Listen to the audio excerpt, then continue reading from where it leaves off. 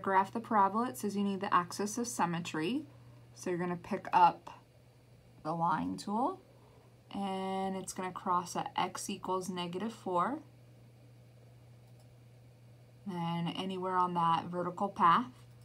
Okay, there's the line. So then I need to click this tool to make it dashed because that line's not part of the graph. It's just there to serve for um, the axis of symmetry because whatever is on the left side is on the right side, like the mirror. So then I need to pick up my pencil and I'm going to go ahead and plot the vertex which is at negative 4, 1.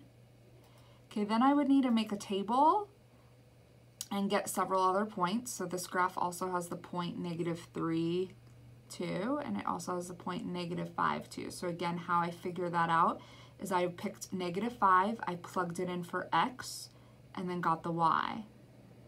Okay, now I could do that again for another point, and I would have a point at negative 2, and then up to 5, and then there would be a point over here. So again, you'd plug those numbers in to the function.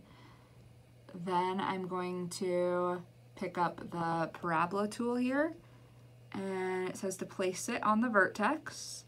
Then click whether it goes up or whether it goes down. So I'm going to click that it goes up and then I need to place it on one of these points there. And then check.